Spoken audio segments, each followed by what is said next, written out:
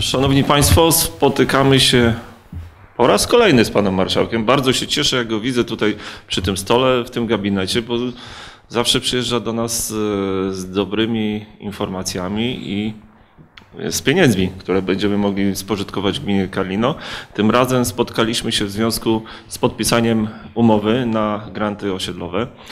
E, Konkurs organizowany po raz drugi przez Urząd Marszałkowski. W zeszłym roku nie udało nam się, a w tym roku uzyskaliśmy grant na zorganizowanie i zagospodarowanie terenu przy ścieżce rowerowej e, przy osiedlu Biedronka. Będzie to infrastruktura dla dzieci i tych mniejszych dzieci. Będą to przyrządy do gimnastyki, przyrządy, których już troszeczkę w gminie mamy. Siłownie zewnętrzne służą osobom dorosłym. Wiemy, jak potrzebne są i zauważyliśmy tą potrzebę, żeby przyrządy były dla trochę młodszych.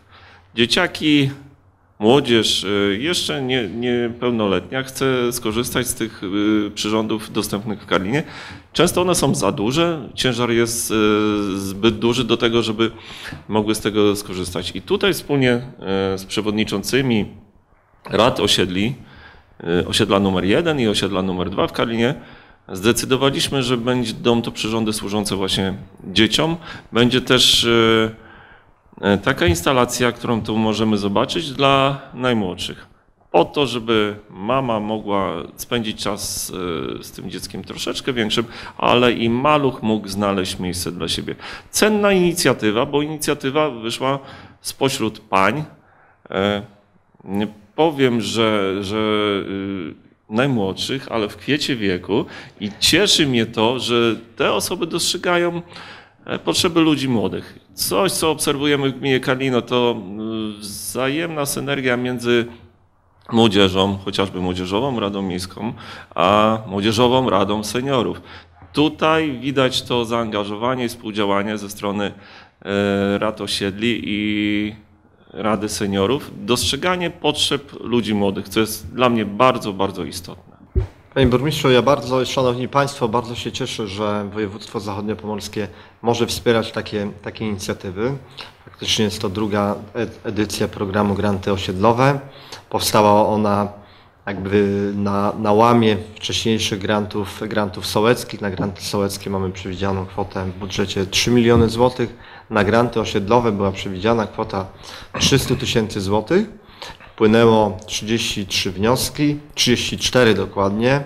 Jeden odpadł z punktu widzenia e, formalnego, pozostałe 33 wnioski postanowiliśmy dofinansować, ale żeby były dofinansowane, musieliśmy zwiększyć w budżecie i na ostatnim sejmiku podjęliśmy taką uchwałę, aby, aby dofinansować je wszystkie. Stąd w, w roku 2024 przewidzieliśmy na te projekty 405 tysięcy złotych. Bardzo się cieszę, że Karlino mogło z tego zadania z tego grantu także skorzystać.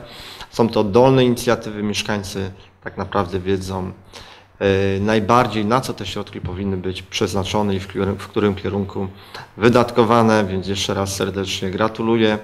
No i cieszę się, no mam nadzieję, że tutaj będę gościł także częściej w innych inicjatywach. To jest wielkie, wielkie oczywiście brawa, brawa za, za tutaj działanie tutaj przedsiębiorcze, za te inicjatywy, bo myślę, że w tym kierunku powinni, powinniśmy działać czy iść. Dziękuję bardzo i gratuluję jeszcze.